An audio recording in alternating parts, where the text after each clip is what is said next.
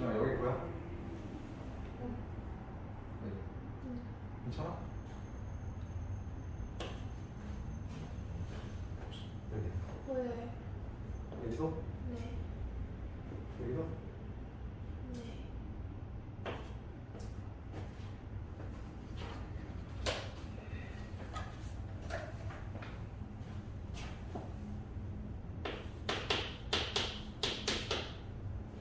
255번 거니까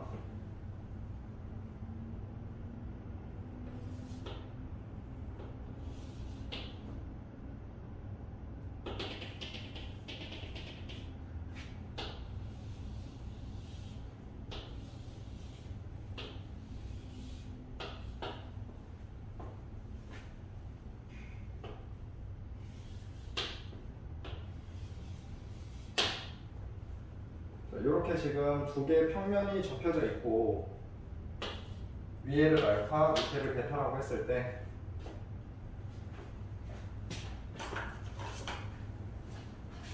두 평면이 이루는 각은 30도라고 하고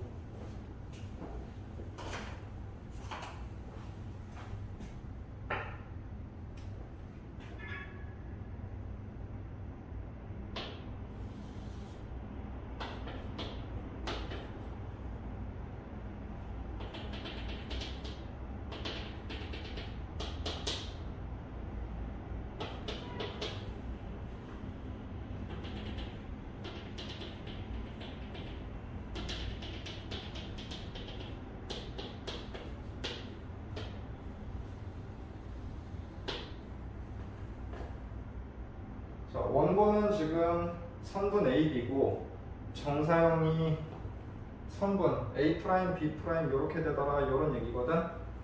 이런 얘기인데 지금 선분 AB의 특징을 보니까 지금 접혀진 부분 있지? 접혀진 부분. 접혀진 선을 교선이라고 하거든.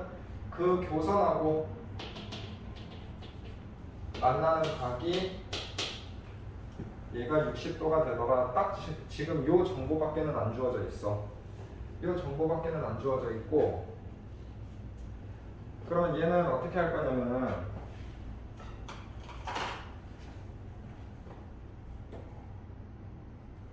각각의 평면에서 직각삼각형을 만들 겁니다. 어, 각각의 평면에서 직각삼각형을 만들 건데 왜 그렇게 할 거냐면은 일단 첫 번째 교선하고 선분 AB하고 이루는 각이 60도라는 사실을 알고 있지. 그치? 그리고 얘는 지금 이면각을 써먹어야 되는데 이면각의 정의가 이 교선에서 수직인 두 직선이 이루는 각이거든? 그렇기 때문에 요 밑에 있는 선 있잖아. 요 선을 이렇게 연장시키고 그 다음에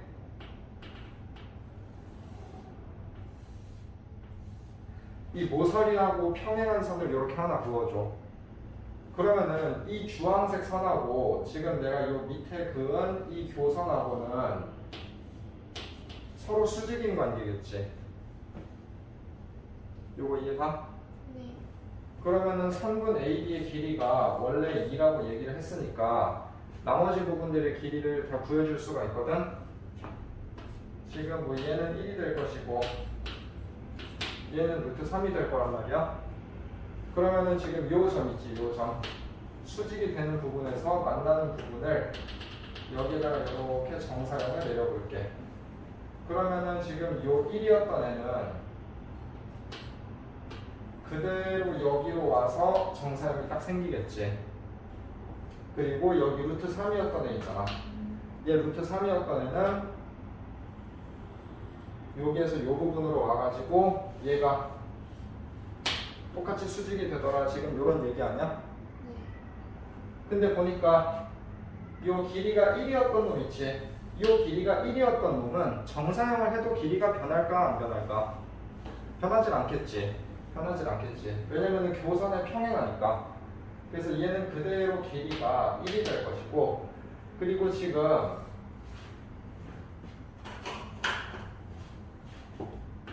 요 빨간색 부분 있거든? 요 빨간색 부분.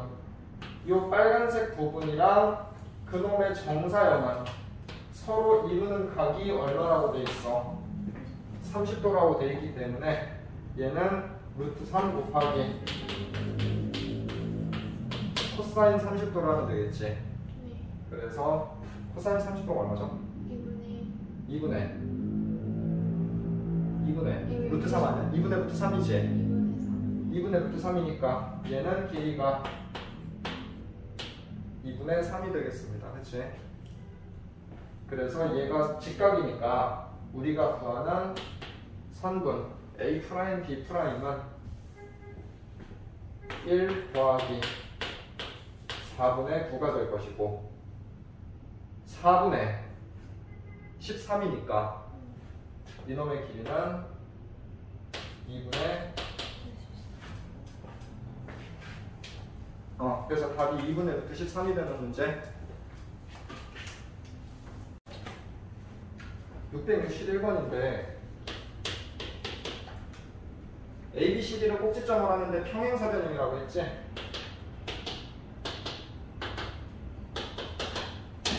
A, B, C, D 이렇게 돼 있고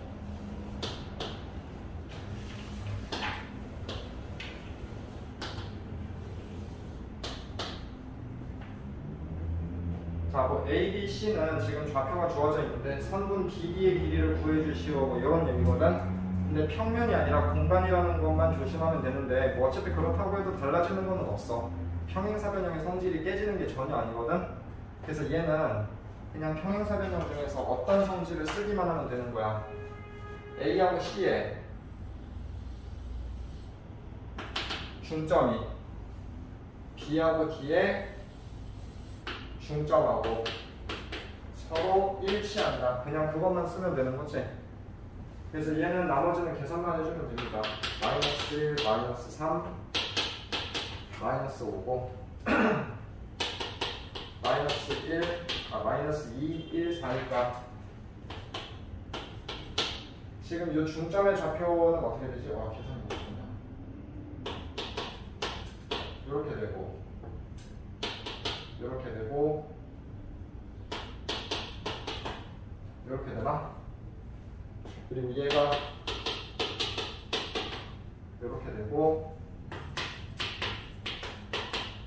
B만 우리가 구해주면 되겠지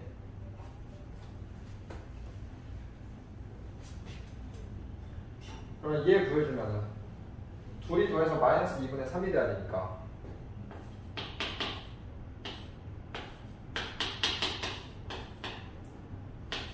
A가 얼마면 되지? 마이너스 5 그리고 둘이 더해서 마이너스 1이 돼야 되니까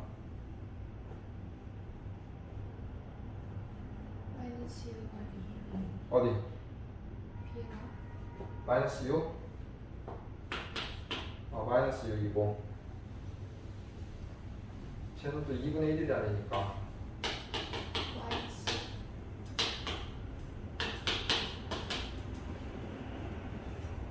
얘는 마이너스 6? 네.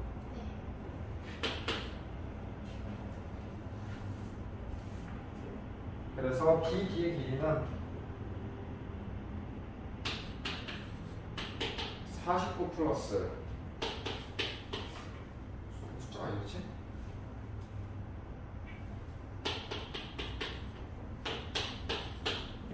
이게 심한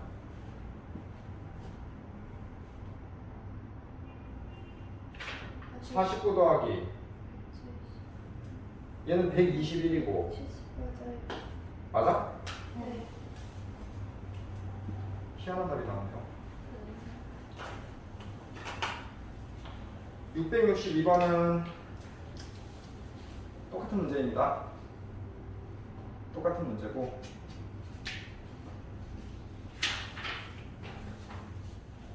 자 삼각형의 무게중심이라고 하는데 평면에 있던 놈이 공간으로 온다고 해서 달라지는 것은 전혀 없거든.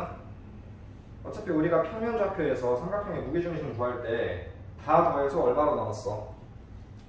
3으로 나눴었지. 네. 어, 근데 여기에는 공간으로 오면은 어차피 Z축 성분 하나만 그냥 추가된다는 것밖에 없지. 네.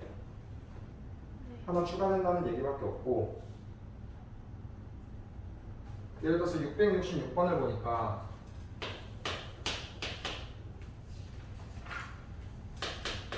A가 이렇게 되고 XY 평면에 대해서 대칭인 점을 P. 그러면 요놈하고 XY 평면에 대해서 대칭인 점이니까 3 마이너스 6 마이너스 4 이렇게 되겠지? 이렇게 될 것이고 X축에 대해서 대칭이니까 Q는 마이너스 3 6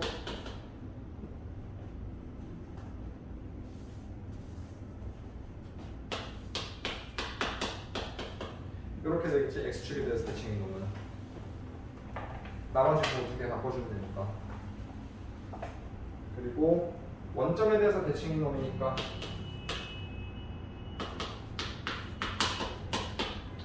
이렇게 되겠죠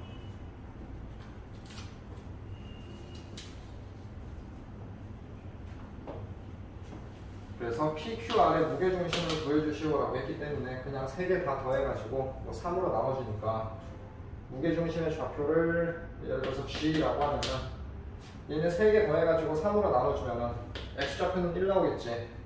그리고 Y좌표는 2 나올 것이고 Z좌표는 뭐 그냥 마이너스 4가 나오는 그런 허무한 문제고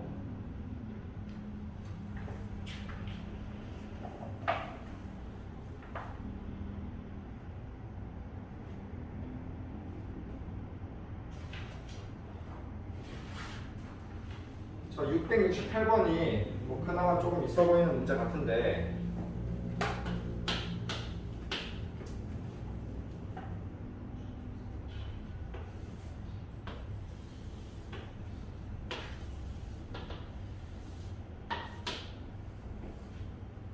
어, 여기서 동그라미 3개를 그렸다가는 보나마나 망할 것 같으니까 그냥 PQR만 쓸게요. PQR만 쓰고 P Q R 자 근데 지금 PQR은 어떤 구의 중심이거든? 어떤 구의 중심인데 반지름이 곧 이 점들의 뭐가 되겠어? 높이가 되거든요? 높이가 되고 지금 가장 작은 구의 반지름이 4라고 했기 때문에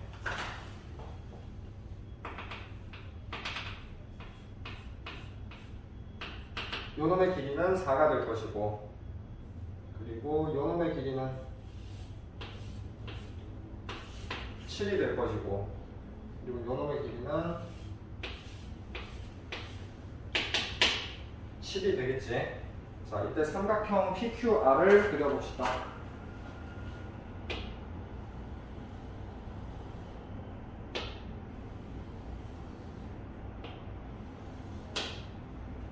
자, 이 삼각형의 무게중심으로부터 무게중심으로부터 평면 알파까지의 거리를 구하시오 뭐 이런 얘기인데 지금 우리가 궁금한 거는 우리가 궁금한 거는 요놈의 뭐 x좌표, y좌표 이런 게 아니라 높이가 궁금하기 때문에 z좌표만 구하면 되겠지. 그러면은 결국 요 반지름 세 개를 다 더한 다음에 뭘로 나눠주기만 하면 되겠어. 3으로 나눠주기만 하면 되겠지. 그러면 다 더하면 21이고 따라서 요놈의 높이는 얼마?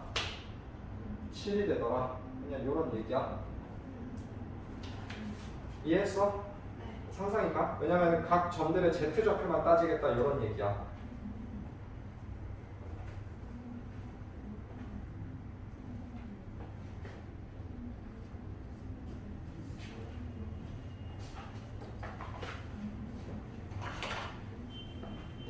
먹고 와서 구회 방정식 하자.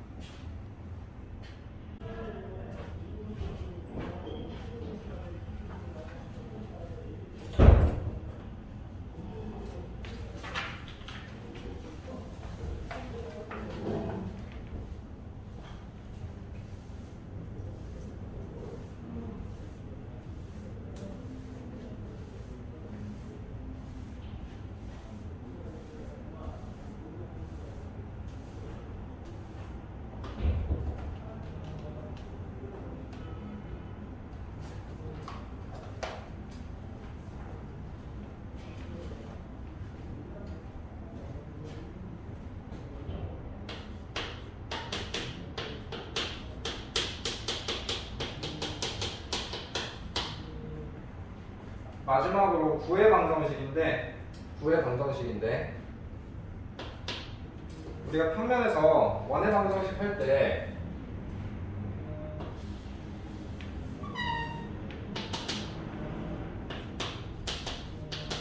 중심을 a, b라고 하고 원 위에 있는 점을 x, y라고 하고 반지름을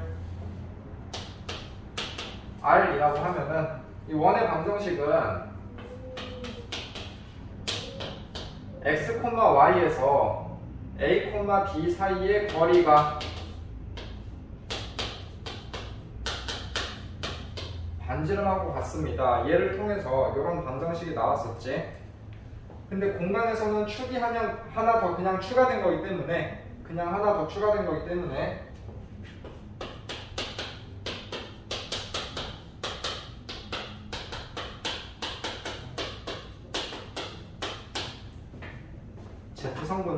그냥 추가된 모양이 나오게 되는 매우 간단한 모양이고 뭐 더 특별한 게 없습니다. 그리고 중심이 원점이면 당연히 x제곱 더하기 y제곱 더하기 z제곱은 r제곱 이렇게 되겠지. 자, 96쪽인데 네모 박스에서 팁에 보니까 중심이 a, b, c이고 x, y 평면에 접하는 구의 방정식을 보니까 얘는 이제 뭐랑 똑같냐면은 우리가 수학상에서 원의 방정식 배울 때 x축에 접하는 원의 방정식 배웠던 거 기억나니?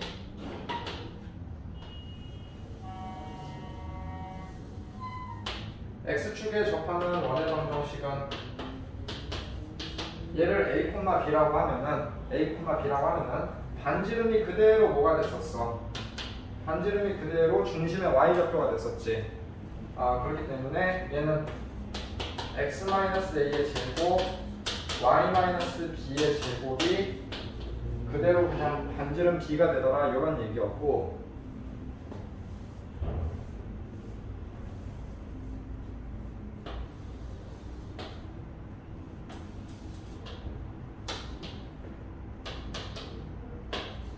공간에서 xy 평면이 이렇게 있을 때 xy 평면에 접하는 구의 방정식 xy 평면 위에 지금 이렇게 구가 올려져 있는 형태가 있다고 하면은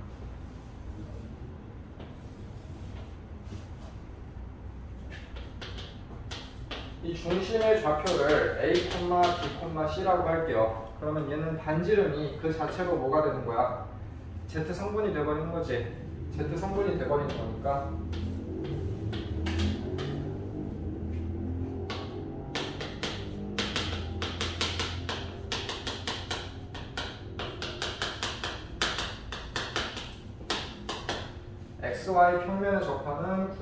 구의 방정 시간 x-a 제곱 y-b 제곱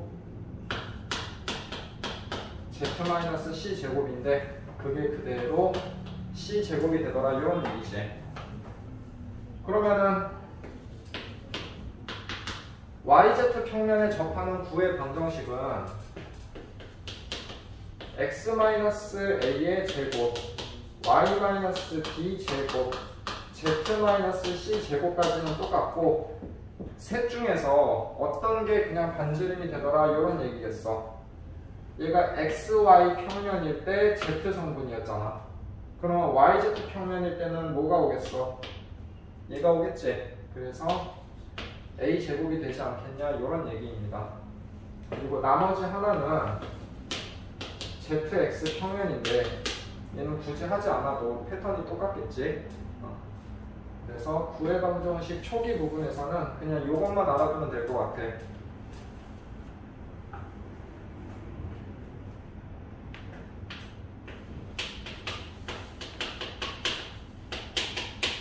그 다음에 원의 방정식도 기본형이 있고 표준형이 있고 일반형이 있듯이 구의 방정식도 마찬가지인데 기본형이 뭐였냐면은 x제곱 더하기 y제곱 더하기 z제곱은 r제곱이었고 제가 이제 표준형이지 중심하고 반지름이 드러나는 거. 그리고 일반형은 x제곱 y제곱 z제곱 플러스 ax by 플러스 CZ 이렇게 생겼고 일반형이라는 게 뭐냐면은 쉽게 말해서 표준형을 그냥 다 전개를 해놓은 거거든 그냥 다 전개를 해놓은 거고 우리가 늘 도형을 도형의 방정식 하다 보면 알겠지만. 너 아니야 채민이 형 놀랬지? 나도 놀랬어 도형의 방정식에서 일반형이 나오면은 일반형이 나오면은 표준형으로 고쳐줘야 표준형으로 고쳐줘야 이제 뭐 중심하고 반지름을 알 수가 있더라. 그냥 이런 얘기입니다.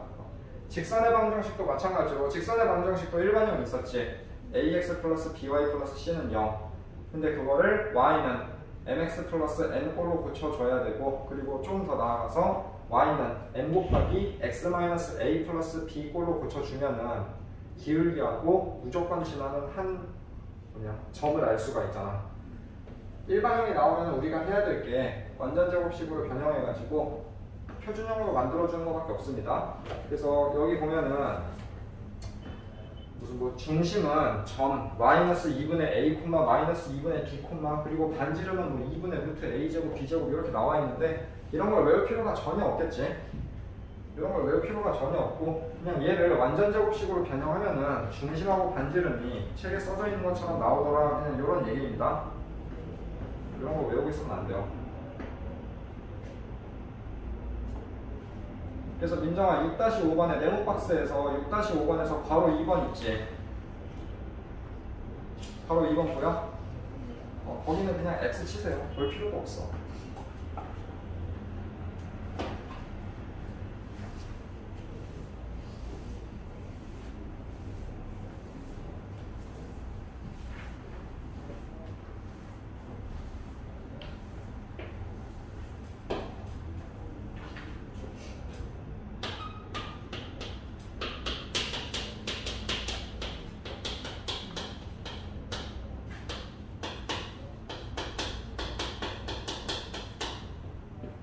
자, 구와 평면의 위치 관계인데 구와 평면의 위치 관계인데 예를 들어서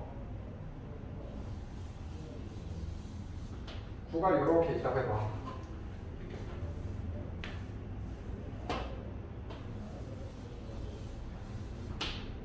예를 들어서 구가 이렇게 있고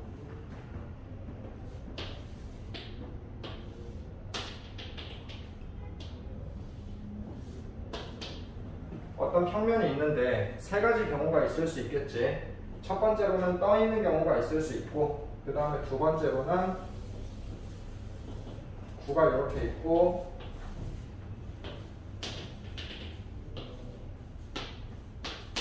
여기에서 이렇게 접하는 경우가 있을 수 있겠고, 어, 얘는 지금 접하, 접하고 있는 그림자야, 그림자.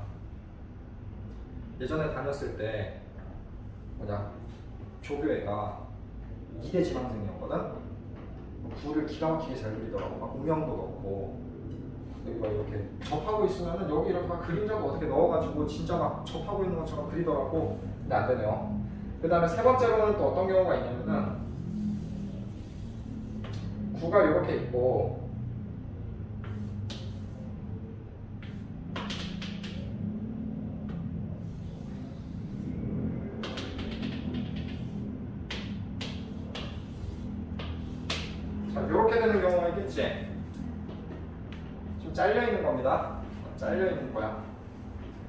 이렇게 세 가지 경우가 있을 수가 있는데 우리가 원에서 하던 거랑 똑같아. 원과 직선의 위치 관계에서도 원과 직선의 위치 관계 따질 때 뭐랑 뭘로 따졌어? 기억나니? 중심에서 직선 사이의 거리하고 그리고 반지름. 그치? 그거 가지고 따졌었지.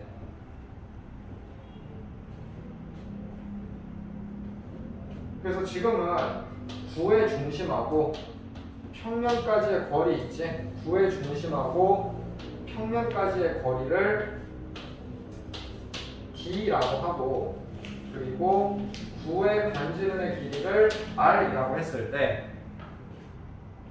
중심에서 평면까지의 거리하고 반지름 있지? 그거 두 개를 비교해서 누가 더 길고 짧은지 그거를 통해서 위치 관계를 파악을 하면 될 텐데 문제는 너네가 공간 벡터가 빠졌기 때문에 구의 중심에서 평면까지의 거리를 직접 구할 수 있는 공식이 빠졌습니다. 진영이 들어본 적 없어? 어차피 이 교육과정 똑같은 건가? 공간 벡터가 빠졌기 때문에 공간 벡터가 빠졌기 때문에 구의 중심하고 평면하고의 거리를 직접 구할 수 있는 방법이 없어요. 왜냐면 애초에 평면의 방정식 자체가 공간 벡터로 정의가 되기 때문에 그래. 그래서 뭐 저거 D는 문제에서 직접 구해지는 구하 아 뭐냐 주어지는 방법밖에 없겠지. 그래서 상당히 편해진 것 같으니까 그렇게 부담 갖지 않아도 되고.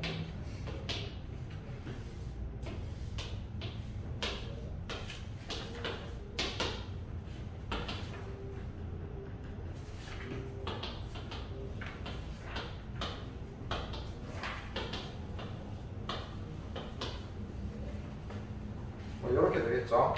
그래서 얘가 만나지 않을 때는 D가 R보다 크고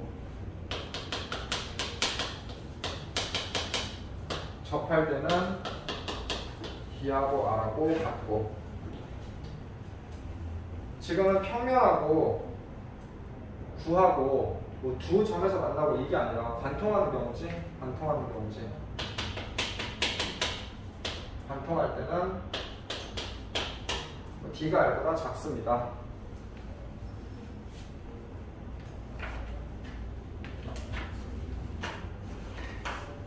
그리고 요것만 사실 여기에서 설명할 만한 내용은 요거밖에 없어요 이정아 구 있지 네. 구하고 평면하고 만나서 생기는 단면 있잖아. 그 단면의 모양은 반드시 뭘까? 원. 원이 되겠지? 어.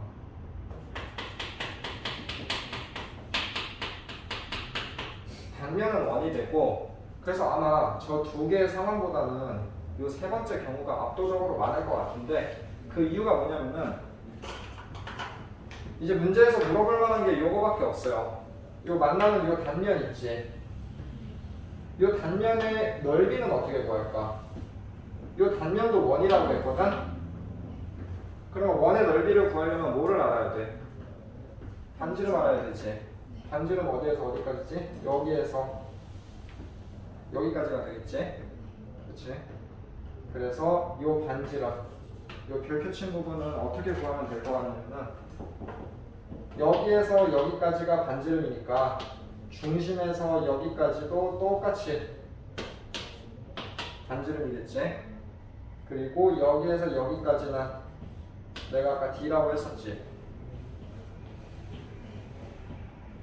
잠깐만, 금리가 빠졌어. 네? 그 그게 그렇게 태어나면 말할 수 있는 거예요? 지금 임시로 해놓은 거라 가지고 네, 내가 내가 사람니가 이렇게 있고 이빨이 이렇게 있잖아. 네. 이빨이 이렇게 있는데 아. 지금 여기가 이렇게 썩어 있어. 여기가 이렇게 썩어 있고 여기가 썩어 있다 보니까 지금 여기도 같이 썩어 있거든. 아씨 어제 헐렁헐렁 해가지고 어제 좀 입을 다물고 수업했거든. 지금 이거 붙여야 돼. 화요일까지 참아야 돼. 네? 그리고 오늘 가야 돼요? 아니면 더 걸어낼 수도 있어요? 아, 아, 아. 아니, 아니, 이미 신경치료는 끝났어. 아니 신경치료 맞아요. 거기에 레진 같은 걸로 파란색으로 박아놓은 거잖아요. 지금. 아니, 금을 씌웠어. 이미. 시험 시험 게 봤어요. 어. 근데 이제, 그 뭐지? 그 금, 금을 이제 이렇게 씌워놓고, 그 다음에 여기가 아직 지금 발치가 안 됐거든? 그래가지고 다음 주 화요일에 가가지고 얘를 지금 임시로 해놓은 거야. 그래서 얘를 딱 고정을 하고 사람니를 뽑아야 돼. 어. 아 아프세요? 응? 아프지. 아, 아프진 않아. 안 아파요? 지금? 네.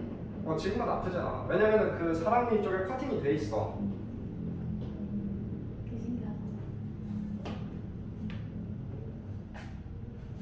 그러면 이 결투친 부분의 길이는 어떻게 구해야 되겠어? 그렇지. d제곱 마이너스 r 제곱의 루트. 나올 만한 게 요거밖에 없습니다. 반대 아니에요? 어디? 아래쪽. 얘가 비변이잖아. 음, 반대네요. D가 짧잖아. 아 미안 미안 내가 잘못 봤다. 어.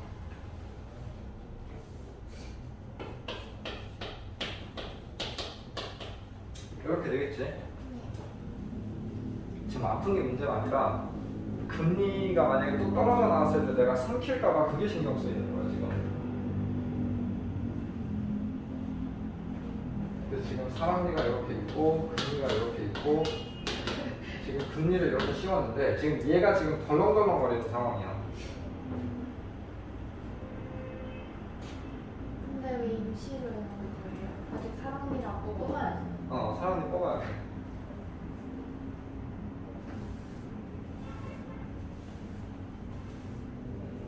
다행히 오늘 할 내용이 그렇게 많지는 않은 것 같고 이거 내용 설명만 끝낸 다음에 너네 문제 푸는 거를 옆에서 봐드릴게요. 네. 너네 문제 푸는 거를 옆에서 봐드릴게. 그냥 풀고 있을 동안 시간은 다 이세요. 아니야, 그 정도는 아니야.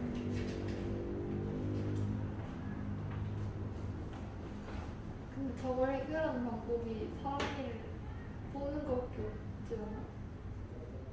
아니 우선 한 번 더 고정만 시켜달라고. 어.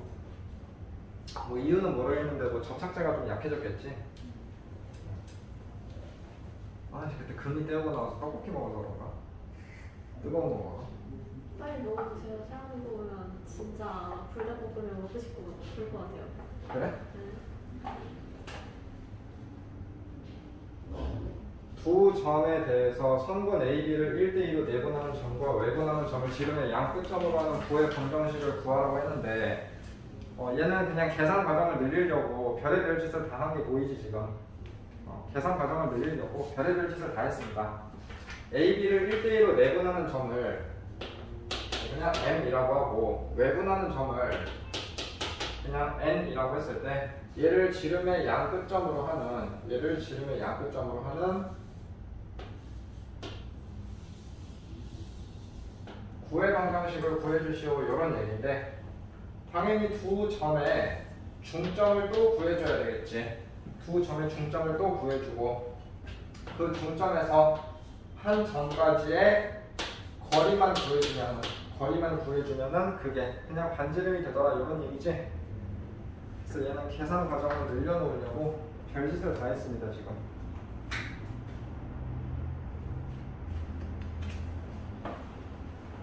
자 671번 보니까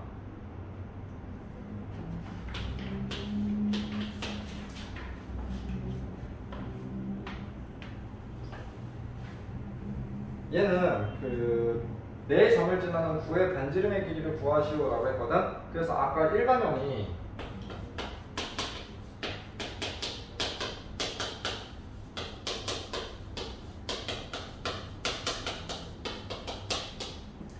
자 생겼지. 대입해요. 그래서 모르는 문자 몇 개 있어?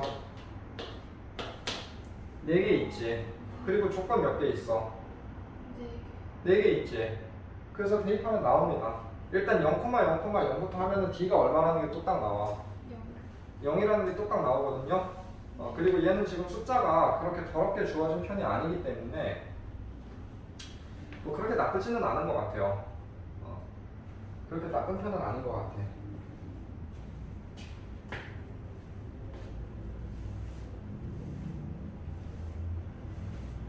자, 근데 이 문제는 이제 뭐랑 비슷하냐면은 너네 세 점을 지나는 원의 방정식 있지? 세 점을 지나는 원의 방정식.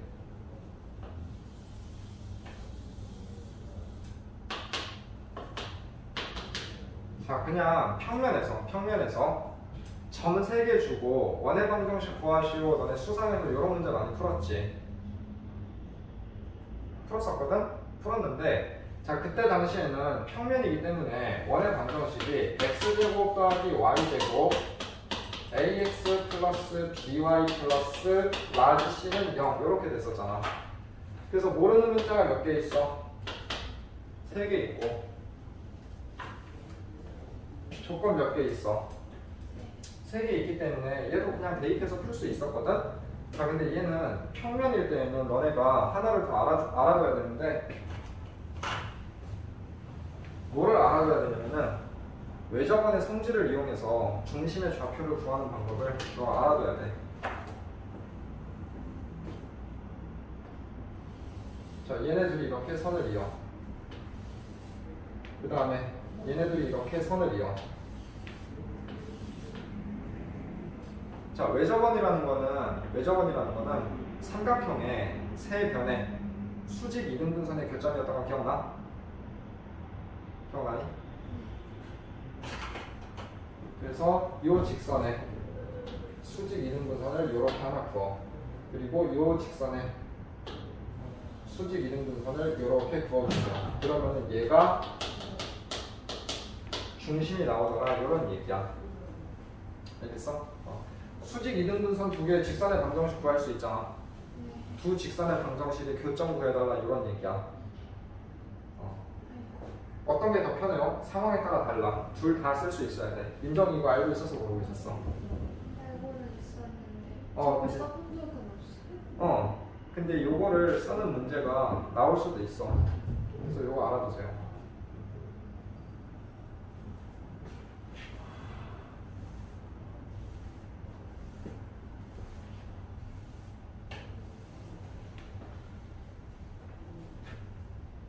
근데 지금 공간 같은 경우에는 우리가 공간에서 직선의 방정식 배웠어 안 배웠어? 안 배웠거든요. 뭐지? 공간에서 직선의 방정식을 안 배웠기 때문에 이 방법은 나오기가 힘들 것 같고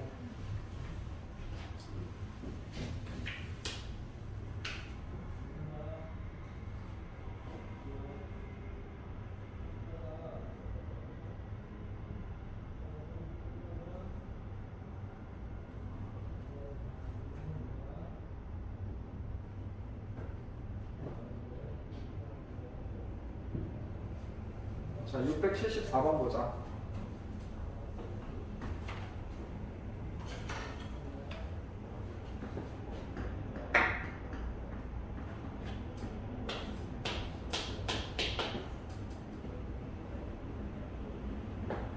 이 아무래도 말을 많이 하다 보니까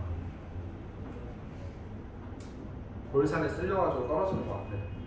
집에 그냥 가만히 있을 때는 괜찮거든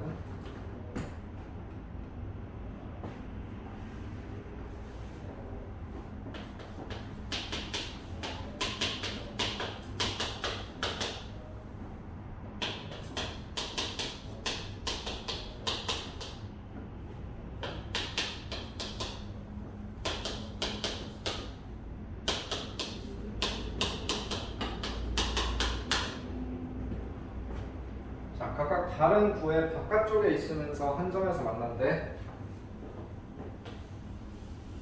그러면 하나의 구는 이렇게 생겼고, 좀 다른 하나의 구는 이렇게 생겼더라 이런 얘기지. 그래서 하나는 중심이 0,0,0이고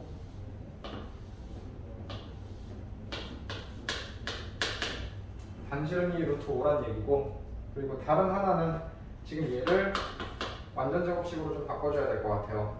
그래서 x-5의 제곱 y-2의 제곱.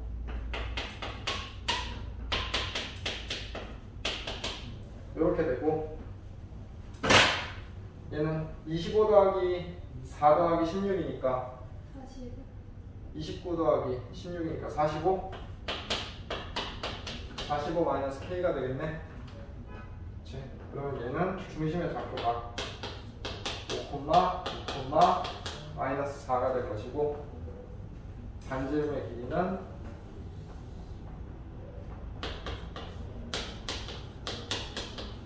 이렇게 되겠지.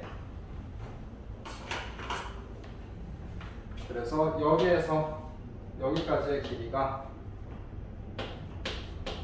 25 플러스 4 플러스 16에다가 루트를 씌운 게 루트 5 플러스 루트 이렇게 되더라. 이런 얘기지.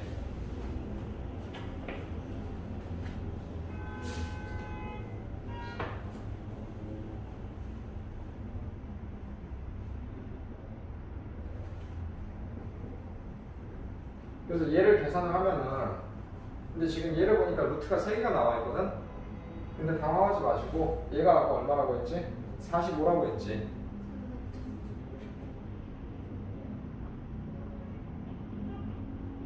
29 저번이요.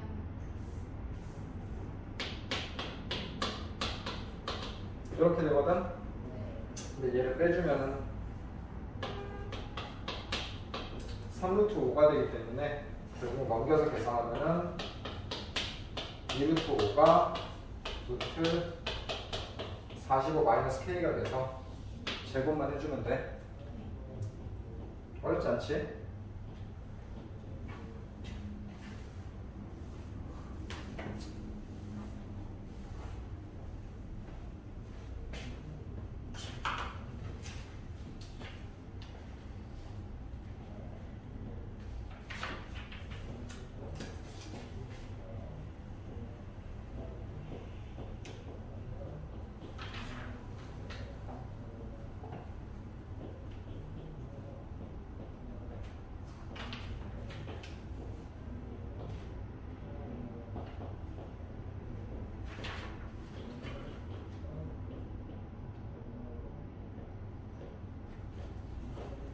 자취의 방정식인데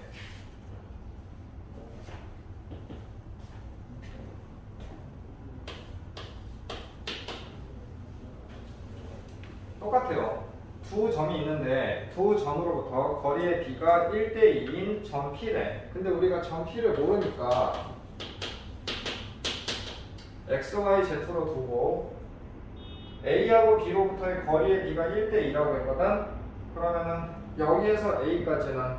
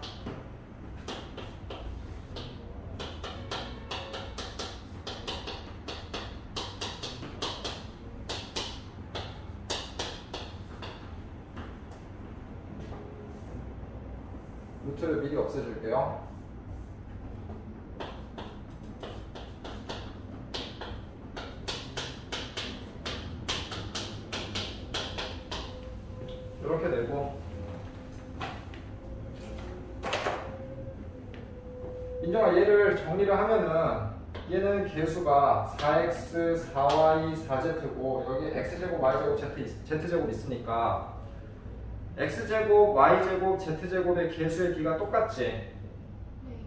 그러면은 얘도 결국 뭐의 방정식이겠어? 9의 방정식이 되겠지? 9의 방정식이 되겠지?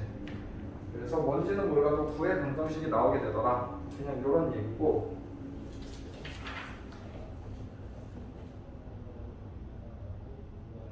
좌표 평면 또는 좌표 축에 접하는 9의 방정식.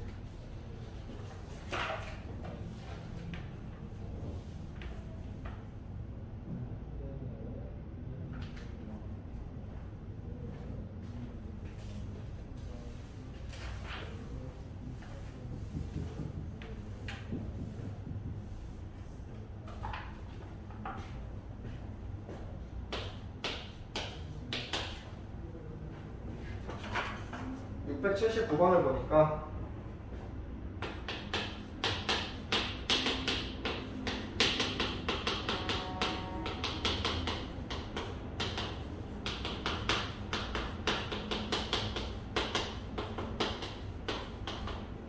세 평면에 동시에 구는 원의 방정식 생각해봐. 평면에서 원의 방정식 생각해봐. x축이 이렇게 있고 y축이 이렇게 있을 때 둘 다 접하는 원의 방정식 있지. 둘 다 접하는 원의 방정식은 반지름이 r일 때 반지름이 r일 때 중심이 몇 콤마 몇이었어? r 콤마 r이었던 거 기억나니? 어. 그래서 우리가 x축, y축에 동시에 접하는 원의 방정식은 몇 개가 나올 수 있지? 하나, 둘, 셋, 네 개가 나올 수 있지. 네 개가 나올 수 있지.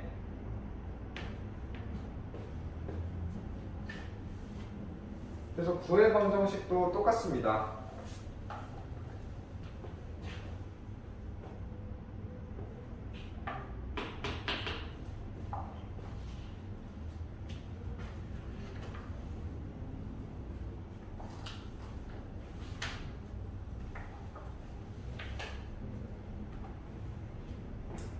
자, 679번 보니까 지금 이 9가 마이너스 1, 2, 1을 지난다고 했거든?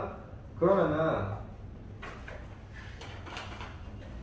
어느 쪽을 지날 수 있는지 를 한번 볼게요.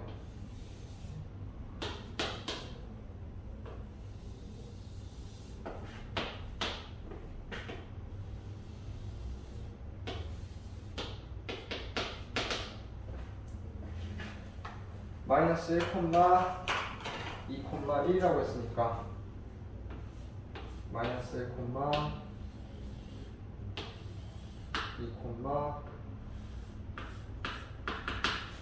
2, 1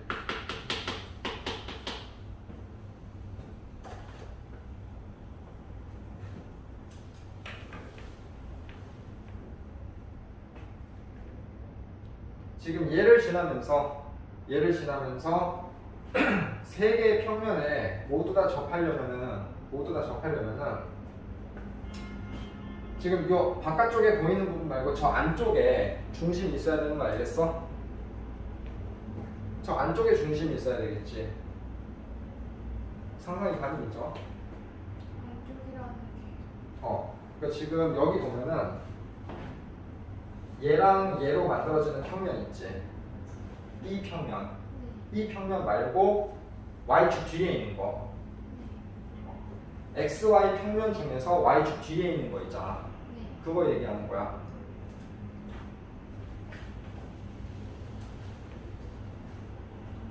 그러면 구의 방정식이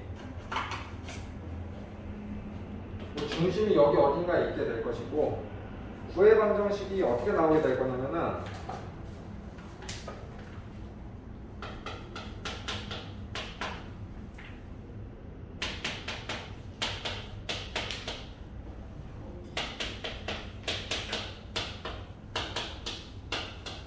이렇게 나오거든. 일단 세 평면에 동시에 접하기 때문에 중심의 좌표 있지? 중심의 좌표하고 반지름하고는 일단 똑같아야 되겠지. 근데 중심의 좌표에서 구호가 어떻게 될 거냐면은 x, y 평면에서 y축 뒤쪽에 있기 때문에 중심의 x 좌표의 구호는 뭐가 되겠어?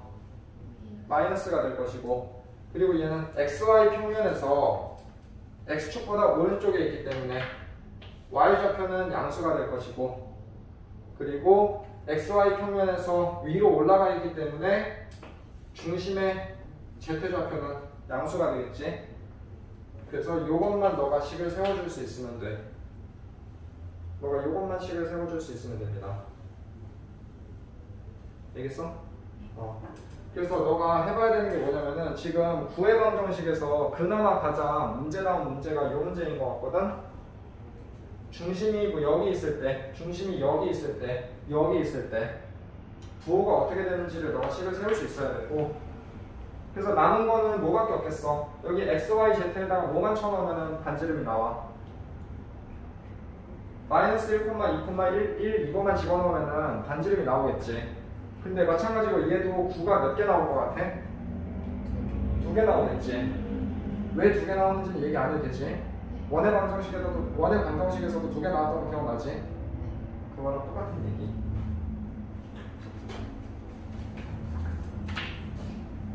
어, 말할 때마다 금리가 달랑달랑 거려요.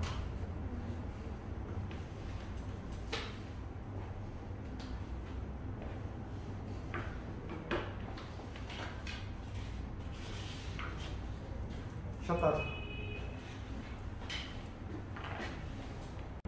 기하방에서 둘, 뭐, 뭐든. 기하면은 아무래도 좀 감각적인 게 많이 필요하지. 근데 레벨 3 풀면서 너무 스트레스 받지 말고 3분 고민해서 안 되면은 그냥 넘어가. 왜냐면은 너네들은 이제 어떻게 공부를 해야 되냐면은 양과 질 둘 다 잡아야 되거든. 양을 잡는 방법은 너네가 한 문제를 30분, 40분 고민한다고 해도 능사가 아니야. 난 절대 그렇게 하지 말라 그래. 왜냐면 첫 번째, 너네는 수학을 공부한 수학을 공부하는 게 아니라 수학 시험을 대비하는 거거든. 그리고 두 번째, 대신에 이제 해설지를 보고 어떻게 공부를 해야 되냐면은 딱 5분 고민해서 모르겠으면 해설지를 봐. 근데 해설지를 볼 때 너네 보면 이상하게 보더라고. 계산 과정을 보는 게 아니라 최초의 아이디어를 봐야 돼. 최초의 아이디어를 봐야 돼. 그래서 해설지를 보면 맨 위에 보면 접근 방법 딱 써 있잖아. 접근 방법이 써 있을 수도 있고 안 써 있을 수도 있는데 너네가 딱 보면은 아 뭐부터 접근해야 되겠다 이게 보이지. 그것만 딱 본 다음에 혼자 풀어봐. 그런 방식으로 해나가야 돼. 어, 그런 방식으로 해나가야 돼. 내가 원래 고등학교 때 문과였거든. 고등학교 때 문과였다가 내가 이제 이과로 바꾸기로 생각을 하고 이제 1월 달에 1월 달에 공부를 시작해가지고 11월 달에 이제 가형 시험을 봤단 말이야. 어. 그래서 이제 이때는 미적분도 몰랐어. 난 미적분 세대가 아니니까. 난 미적분 세대가 아니니까 몰랐어. 그래서 결국 이때 92점을 받았는데 받을 수 있었던 이유가 뭐냐면은 일단 첫 번째 1월부터 5월까지 일단 개념 공부를 했지. 아, 뭐 일단 뭘 알아야 풀 거 아니야, 그치? 그 다음에 5월부터 그 다음에 8월까지는 그냥 뭐 3점짜리 문제집 있잖아. 3점짜리 문제집. 3점짜리 문제집만 풀었어. 모르겠으면 바로 해설 봐. 모르겠으면 바로 해설 봐. 근데 내가 그냥 무턱대고 해설만 본 게 아니라 뭐를 했었냐면은 몰라가지고 해설 봤던 거 있지? 일주일 뒤에 다시 풀어봤어. 다시 풀어봐서 풀리면은 넘어가고 또 안 풀릴 수도 있잖아. 또 해설을 봐. 그 다음 일주일 뒤에 또 풀어. 어.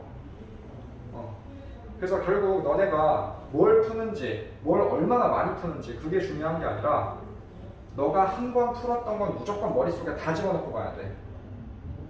어, 그 마인드로 접근을 해야지 무슨 뭐 책을 너 키만큼 쌓아놓고 푼다고 해서 의대 가는 게 아니야. 근데 의대 가는 애들 보면은 책을 너 키만큼 쌓아놓고 있지. 책을 키만큼 쌓아놔서 의대를 간 게 아니라 그 책들을 다 머릿속에 넣었기 때문에 의대를 간 거야. 그렇게 생각해야 돼. 그 다음에 이제 8월 이후로 내가 뭘 해야 될지 고민을 많이 했어. 수험생 커뮤니티 들어가니까 이제 무슨 뭐, 무슨 뭐, 별 이상한 봉투 모의고사가 많이 있더라고. 어. 봉투 모의고사. 그런 게 많이 있는데, 그때 내가 이제 돈이 없었거든요. 내가 돈이 없어가지고 내가 선택한 방법이, 내가 대학교 다니고 있을 때였으니까, 혼자 공부했는데, 과사에서 기출문제집을 어, 맞아. 내가 얘기해준다 그때? 네. 어, A4 용지 세 박스 들고 가서 5개년치를 세 세트를 뽑았지. 그래서 그냥 다 외운 거야.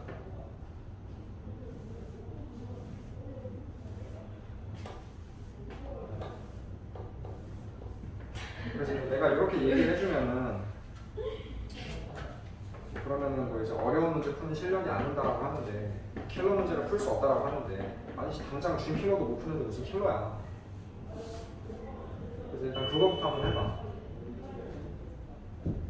수특을 해도 괜찮고 아니면 기출 문제집 있지? 기출 문제집 그거 바로 해. 3점짜리는 3점짜리부터. 3점짜리라고 해도 B단계보다 어려워. 어. 아니 나 가야 할때 너무 래 그래. 알아봐주고 차라리 뭐 누구한테 수업을 듣는 게 나을 수도 있겠다. 자, 9의 근 접선의 길이인데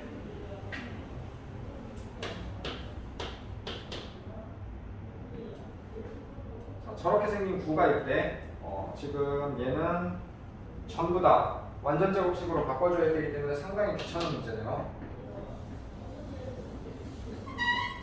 자, 9가 이렇게 있고 얘는 중심의 좌표가 2, 마이너스 2, 마이너스 4라는 거는 금방 알겠는데 반지름이 얼마인지는 조금 계산을 해줘야 돼. 그래서 반지름이 얼마인가 해서 보니까 반지름은 4거든요. 이때 1, 2, 3이라는 점이 있는데 여기에서 9에 그은 적선의 길이를 구하시오.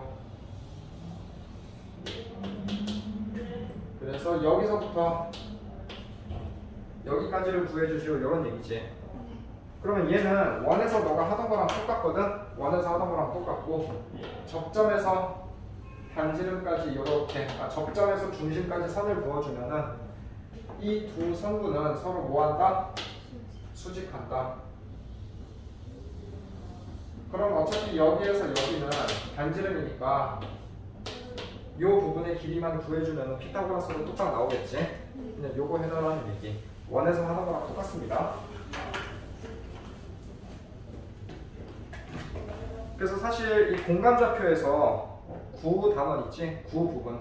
구 부분에서 문제로 나올 만한 게 이제 유형 16, 17, 18도 안 나와. 유형 18은 뭐냐면은 점과 구 사이의 거리의 최대값과 최소값이거든. 유형 18만 먼저 한번 볼게요.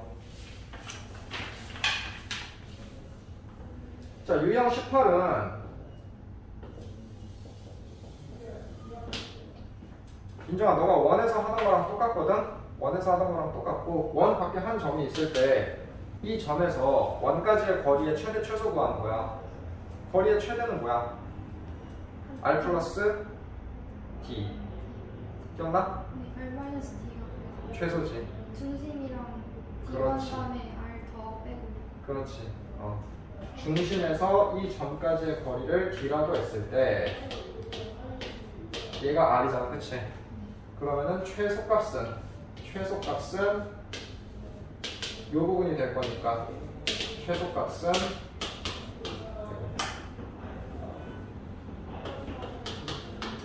최소값은 d-r이 될 것이고 그리고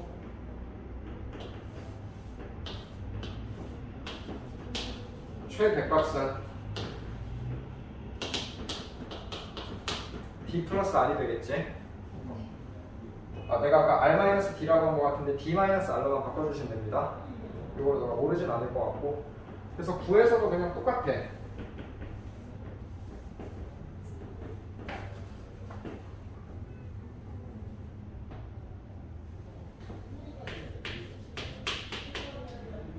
(694번) 보니까 중심이 0,0,1 아 0,0,0이고 반지름이 1인 9 위를 움직이는 점하고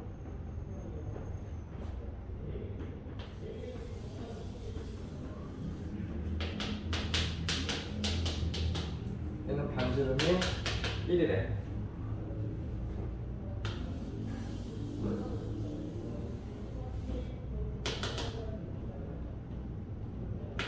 얘는 마이너스 3, 마이너스 4, 5고 얘는 반지름이 얼마죠?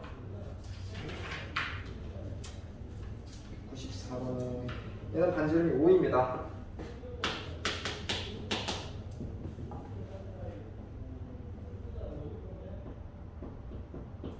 그때 거리의 최소값을 구하시오.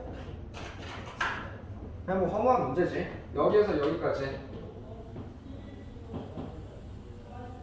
쭉 직선을 이은 다음에 그러면 여기 거리가 어떻게 되겠어? 얘만 구해봅시다. 9 더하기 16 더하기 25니까 이게 얼마죠? 보르트. 2 거기에서 뭐 하나 빼자. 1 하나 빼고 5도 하나 빼주자. 5도 하나 빼주자. 아 그러면은 최소값은 오르트 2에서 6을 빼주면 되더라 그냥 요런 얘기지.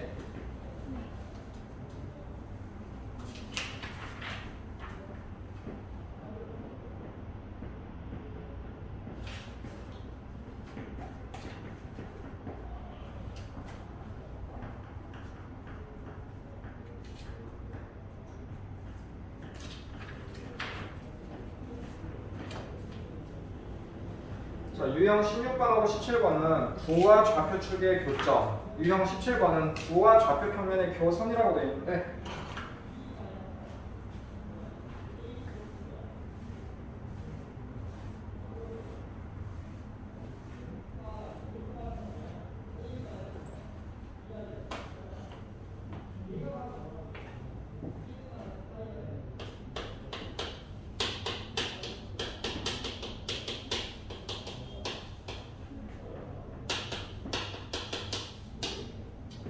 자, 공간 벡터가 빠져가지고 애석하게도 이제 우리가 공간 좌표에서 직선의 방정식을 구할 수가 없거든. 그렇기 때문에 우리가 다룰 수 있는 유일한 직선이 지금 좌표 축밖에 없단 말이야. 그래서 구하고 좌표 축의 교점만 우리가 구할 줄 알면 됩니다. 686번 보니까 아, 이런 유형은 결국 뭐 핵심 아이디어는 요거거든. 예를 들어서 구가 이렇게 있고 뭐 예를 들어서 x축이 이렇게 있다 x축이 이렇게 있다라고 했을 때 예를 들어서 얘가 a, b, c라고 해봐봐 a, b, c라고 하면은 여기에서 여기까지의 거리는 얼마인지 알고 있니 혹시?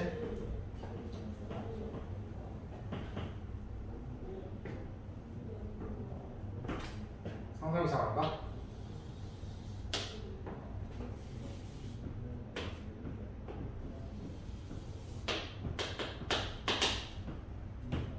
어떤 한 점이 예를 들어서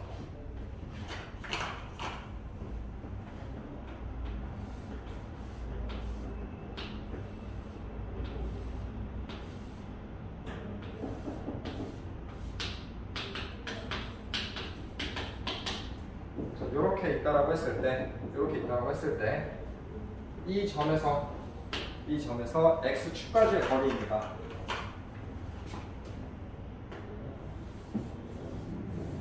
그리고 빨간색 선분의 길이를 얘기하는 거지. 네. 어. 근데 보니까 이 부분의 길이가 얼마지? B. 이 부분의 길이는 얼마지? C. 그래서 이 길이는 이렇게 되는 거 맞아? 상상이 가 민정아? 어. 그래서 여기에서 여기까지 길이는 얼마? 이렇게 되겠지. 그치? 그리고 여기에서 여기까지는 얼마가 되는 거야? 반지름이 되는 거지? 그러면 여기에서 여기까지의 길이 구할 수 있어 없어? 구할 수 있지? 그래서 구하고 좌표축이 만나는 두 점 사이의 거리는 요 뒤에 몇 배를 해주면 되겠어? 두 배를 해주면 되더라 이런 얘기야.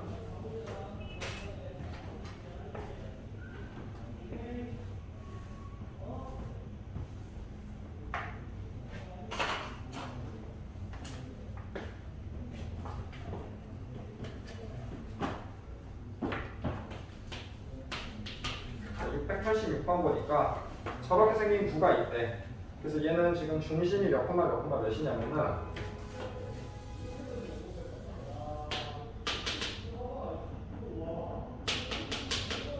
마이너스 1, 2, 마이너스 2고 그리고 얘가 Z축하고 두 점에서 만난다고 했지. Z축 이렇게 됩니다. 자 민정아 그럼 요거 한번 대답해봐 중심에서 Z축까지의 거리는 어떻게 될까? 쟤를 참고해보세요 중심에서 Z축까지의 거리는 어떻게 될까?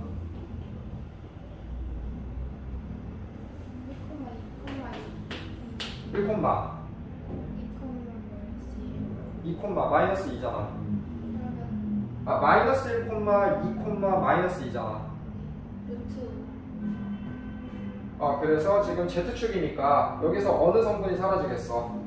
Z 성분이 사라지겠지. 그래서 제곱 제곱해서 더하면은 루트 5가 되겠지. 그리고 반지름이 얼마인지는 일정 어쩔 수 없이 너가 계산을 해야 됩니다. 어. 네. 쟤를 완전 제곱식으로 고쳐가지고 반지름이 얼마인지는 어쩔 수 없이 계산을 해야 돼. 루트 여기요.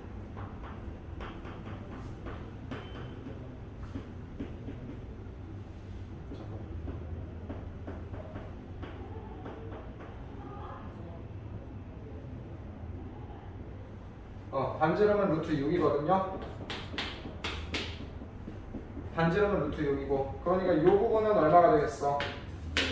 1이 되겠지? 아 그래서 우리가 구하는 우리가 구하는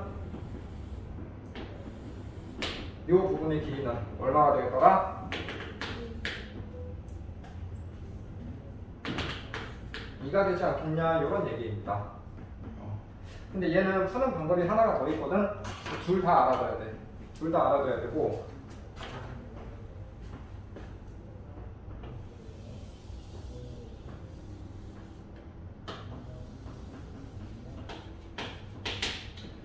자, 이렇게 있는데, 이렇게 있는데, 자, Z축의 특징이 뭔지 알고 있니? Z축의 특징. XY 성분이요. 그렇지. X, Y 성분이 모두 다 0이거든요.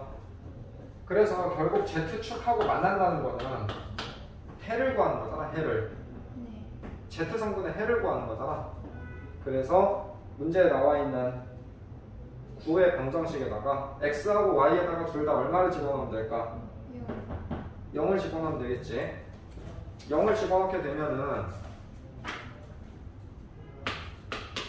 z제곱 플러스 4z 플러스 3은 3은 0이 나오고 여기에서 z는 마이너스 1하고 마이너스 3이 나오겠지. 네. 마이너스 1하고 마이너스 3이 나오니까 두 점 사이의 거리는 얼마? 2가 나오더라 이런 얘기야.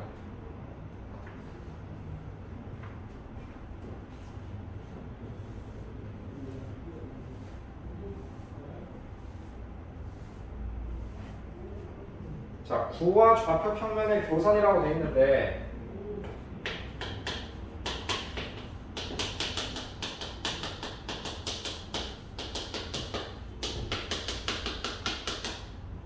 구와 좌표 평면의 교선이라고 돼 있는데 얘는 아까 우리가 했던 거고 얘를 그림으로 나타내 보면은 자 구가 이렇게 있을 때 평면이 지금 이렇게 지나가고 있거든 평면이 지금 구를 자르고 지나가고 있어서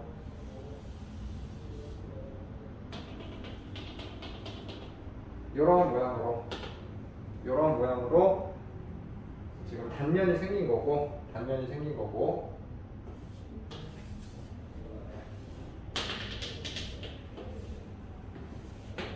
자, 이런 식으로 지금 잘려 있는 거지. 이런 식으로 잘려 있는 거고.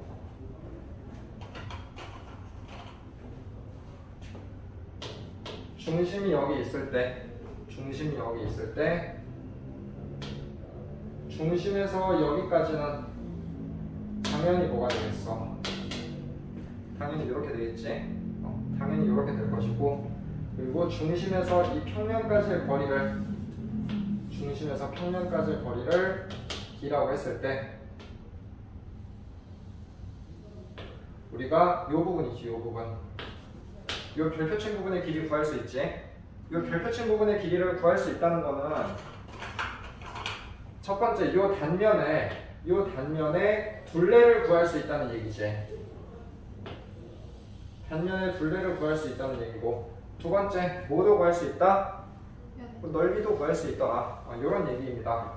근데 마찬가지로 한 점에서 일반적인 평면까지의 거리를 구하는 방법이 너네들은 지금 할 수가 없는 거기 때문에 아마도 문제에서는 그냥 ZX 평면, XY 평면 이런 기본적인 평면까지의 거리만 나올 거라고 예상을 해볼 수가 있을 것 같아. 네. 689번 보자.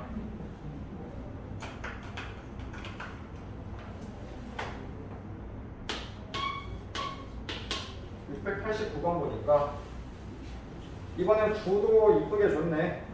Xy 평면이 만나서 생기는 도형의 둘레 길이를 구하시오.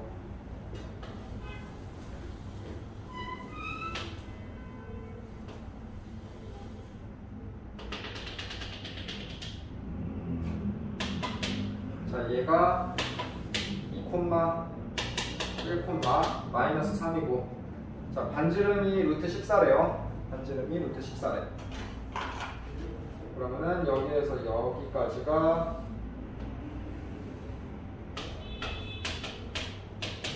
이렇게 되고 자 xy 지금 이 단면도 xy 평면이지 네.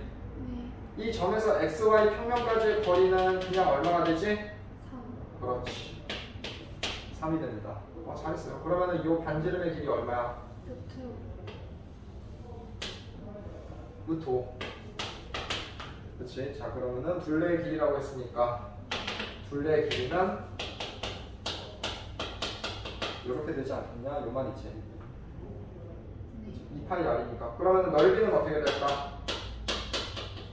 5파이가 되겠지 네.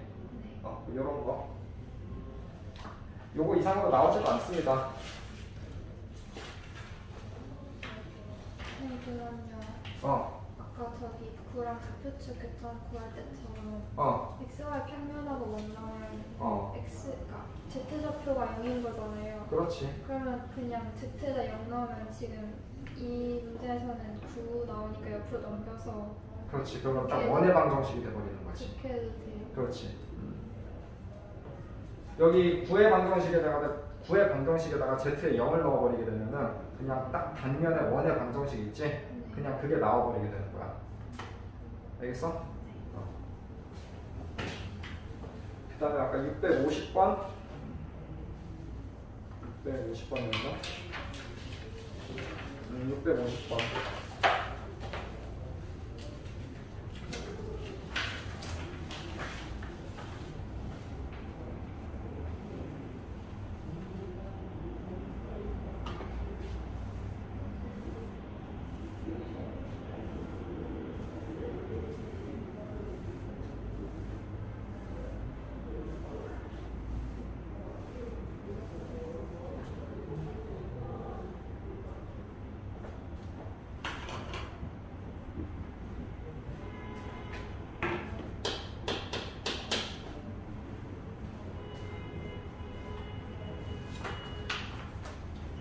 자, 자, 두 개의 점이 있는데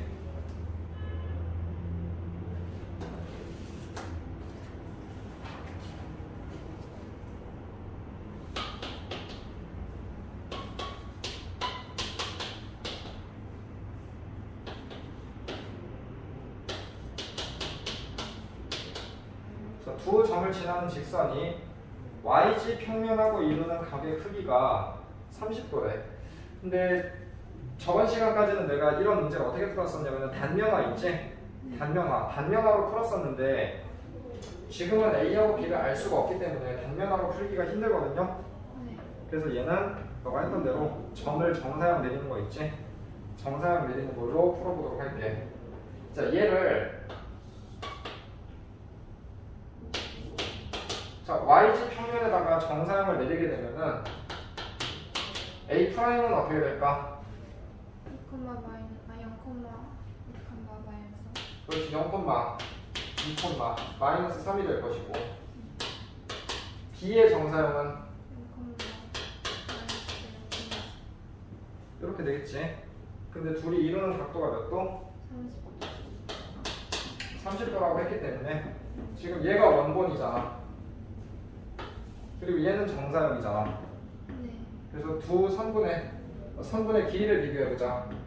길이를 비교해보니까 a-b의 제곱 플러스 3의 제곱 플러스 6의 제곱 여기에다가 코사인 30도를 했더니 얘가 됐다는 얘기지. 네.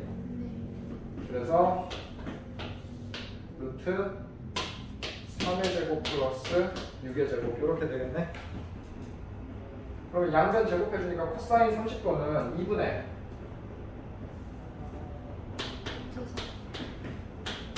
이렇게 되고 양변 제곱하면은 3 곱하기 a-b의 제곱 플러스 9 더하기 36이니까 45지 45에다가 3 곱하면 얼마지?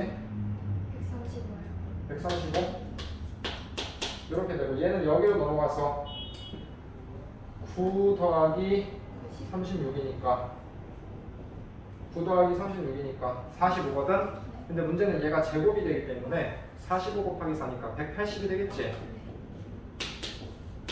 이렇게 됩니다. 아 그래서 3 곱하기 a-b의 제곱이 180에서 35를 135를 빼면은 80. 45가 나오고 a-b의 제곱이 15가 나오게 되거든요. 근데 이제 우리가 또 어쩌라는 얘기냐, 어쩌라는 얘기냐면은 선분 AB를 ZX 평면 위로 정사해말해. 그러면은 얘를 ZX 위로 정사영을 해주자. 네. 그러면은 A 프라임 프라임은 자 ZX면은 어디가 사라져? Y요. Y가 사라지니까 A 콤마 0 콤마 마이너스 3이 될 것이고 B 프라임 프라임은 B 콤마 0 콤마 3 이렇게 되겠지. 아, 정사형의 길이를 구해주시오라고 했는데 일단 요 놈의 길이 보니까 아 이제 여기에서 길이만 구해주면 되겠지 왜냐면 a 빼기 b의 제곱을 알고 있으니까 그래서 요 둘의 길이를 구해주면은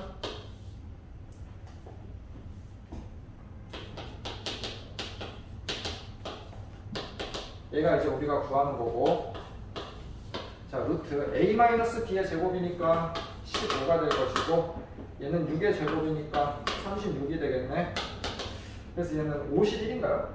네. 그런 답이 있어? 네. 어, 그래서 답이 3번입니다. 자, 기하 듣느라고 고생 많이 하셨고, 사실 내가 해준 거는 진짜 그냥 유형별 대표 있지? 뭐 그런 거밖에 안 돼요.